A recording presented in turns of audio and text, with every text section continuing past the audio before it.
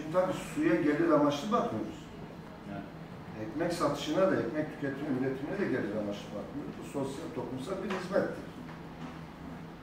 Toplu taşıma da toplumsal bir hizmettir, biliyorsun. Ama şimdi bir gerçeklik var. Mesela biz toplu taşımada düzenli sefer yapamıyoruz. Neden de şu, araçlarımızın yetersiz olması. Araçlarımızın yorgun olması ve işte geldiğimizde iki tane otobüs vardı. İkisinde toplu taşıma açısından riskli gördük. Onun arızalarını giderecek parçaları bulamıyorsun, şanzımanları bulamıyorsun, bağlamışız.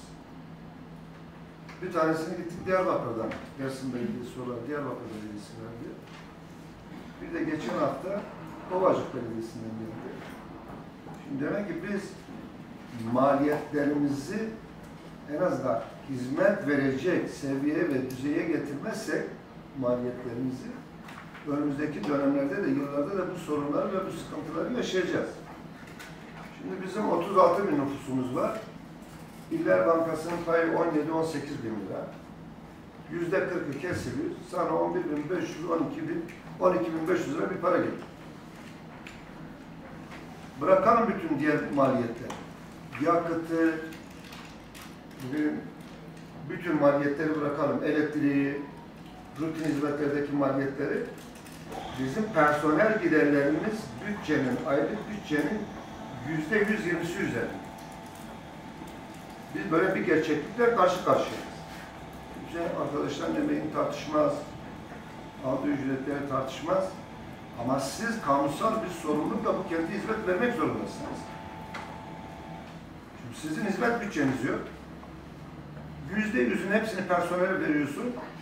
Yine boşluk arıyorsun. Geçen ay yüzde ellisini ödedik. Yüzde elli de ayın on beşini ödeyeceğiz. Çünkü maliyetler mevcudun dışında. Burası şey değil, burası hizmet kurumudur. Yani biri burada çalışır ama halk da sokakta hizmet bekler. Temiz su bekler, kesilmeyen bir su akışını bekler, düzenli bir yol bekler, güzel bir parkta oturmak ister, temiz bir sosyal donatı alanda gezmek ister, sağlıklı, güvenli bir otobüsten yolculuk yapmak ister. yeniden bir zam yapma şeyi biraz erken oluyor.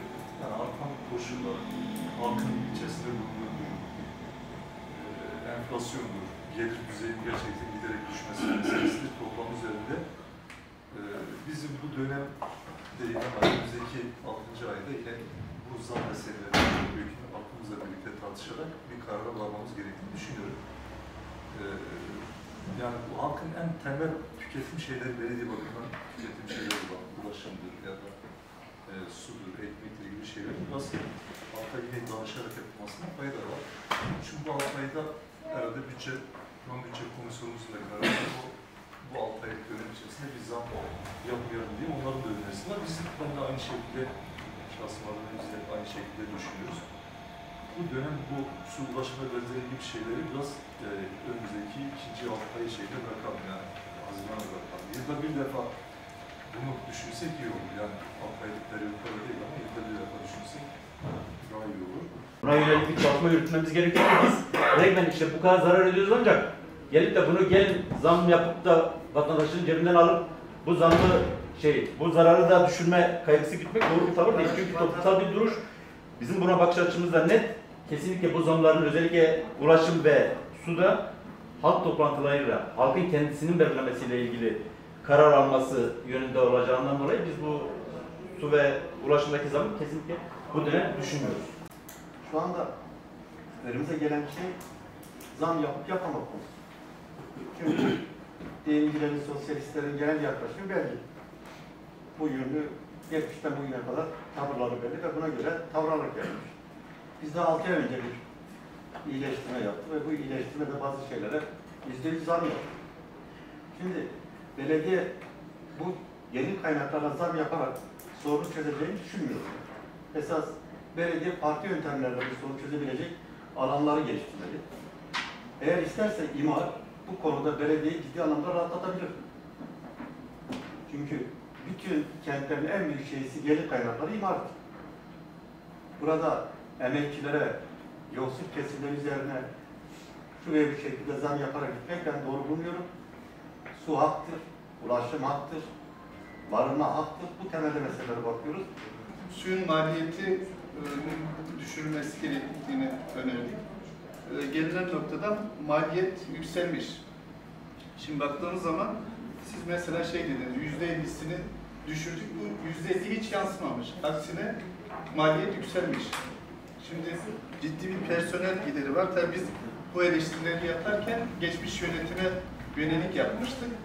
Şimdi baktığımız zaman e, geçmiş yönetime biraz daha haksızlık yapmış gibi görünüyoruz. Görünen tabloda. Yani o maliyetler halen düşmemiş. E, Yani sizin de yönetiminizde halen e, maalesef yüksek maliyetler var. Ben de aynı görüşteyim. Enflasyon yüzde 41.5 ise şu yüzde 20 artsın. Bu yüzde onu örneğin yani yüzde onu birinci dönem ilk 6 ay, diğer yüzde onu da ikinci dönem değil mi? Net bir şekilde ortaya çıkarsa daha sağlıklı olur ben diyorum.